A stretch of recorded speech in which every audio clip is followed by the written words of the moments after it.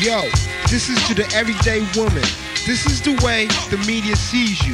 If you don't like it, then complain. Complain.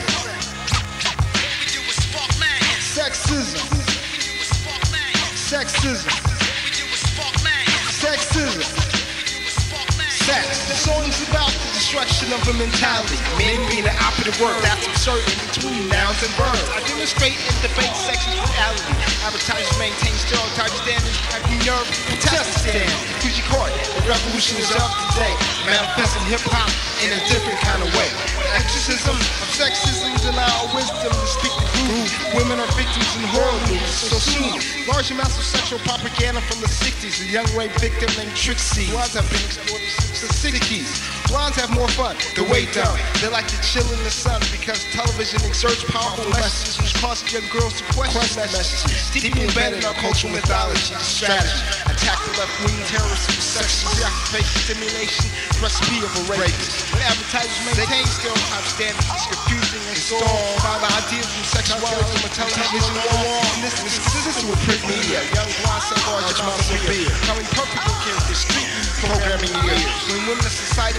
attractive to be exceptional, they concentrate on exceptional. Pornographic images deeply embedded in our country's educational. But let's reinforce why television is such an influence. Its intrusion, mind mangled. Facts and fiction and TV are entangled. Fantasies of rape initiated young man into romance light. Sitcom, sitcom punk rocks that's the bite. Back to the subject, exploitation, money sell, sexual situations. The glamour professions all abusing.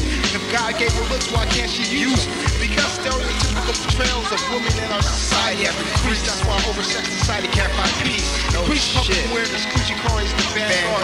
Short shot, shot to free your mind and spirit from culture shock. So listen. Sexism. Sexism. Sexism. Sexism. Sexism. Sexism.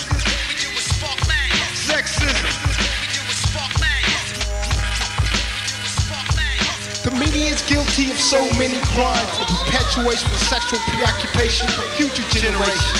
So let's create an awareness of resistance to reactionary sexual resistance. We must unite men and women together. Yeah, that's the solution. Spark, spark the revolution. Yo. Naomi, Wolf, Camille, Paglia, Rosa, Rosa Parks, Fran, Fran, Dresch, Yo, this goes out to all alien women. Free yourself from this media preoccupation with sex. Maya Angelou, save your soul before it's destroyed. You know what I'm saying?